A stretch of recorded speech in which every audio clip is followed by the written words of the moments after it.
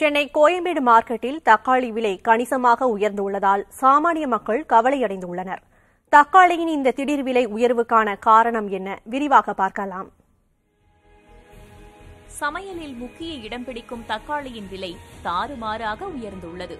தக்காளியின் விளைச்சல் அதிகரிப்பால் கடந்த ஒரு மாதத்திற்கு முன் கிலோ பத்து ரூபாய்க்கு தக்காளி விற்பனை செய்யப்பட்டது.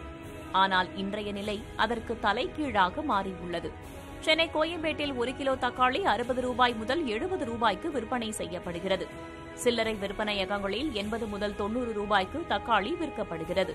தமிழகத்தில் தக்காளி விளைச்சல் பாதிப்பு வெளி மாநிலங்களில் இருந்து வரத்து குறைவு உள்ளிட்ட காரணங்களால் தக்காளி விலை கணிசமான அளவுக்கு உயர்ந்துள்ளது.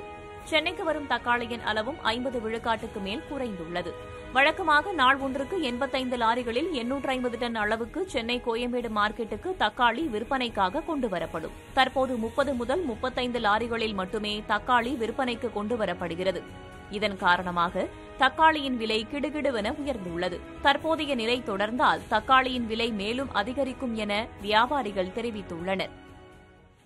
கர்நாடகாலேயே ஆந்திராவிலையும் தமிழ்நாட்டிலேயே ஐ- நீங்க தொலைக்காட்சிகள்லாம் பார்த்துருப்பீங்க. ஐஸ் மழை முழுவதும் ஐஸ் மழை.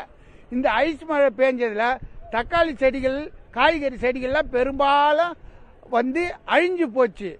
ரெண்டாவது மூணாவது என்னன்னு கேட்டிங்கன்னா வடநாட்டு தேவைகள் அதிகமாக இருக்கு.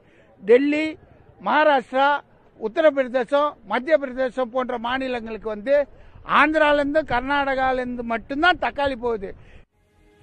இதேபோல் மற்ற காய்கறிகளின் விலையும் உயர்ந்துள்ளதால் சாமானிய மக்கள் கவலையடைந்துள்ளனர்.